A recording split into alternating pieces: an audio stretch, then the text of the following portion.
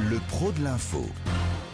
Bonjour Pascal Pro. Bonjour Yves. Et bien justement, restons avec cette courbe du chômage qui ne s'inverse pas, Pascal, depuis trois ans, depuis l'arrivée de François Hollande. Elle poursuit sa hausse inexorable et elle sera au centre de la prochaine élection présidentielle. Le chiffre du chômage décidera de la réélection ou non de François Hollande. Tout le reste est littérature. Je ne sais pas si un président de la République qui réduit le chômage est automatiquement réélu.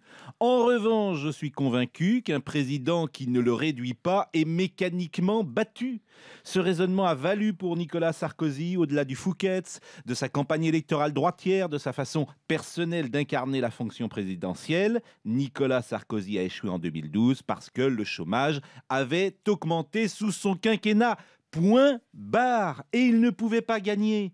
Les mêmes causes produisent les mêmes effets. Si dans deux ans, la fameuse courbe n'est pas inversée, François Hollande sera battu.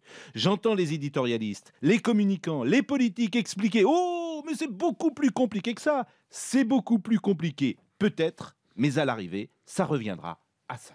Pascal Pro.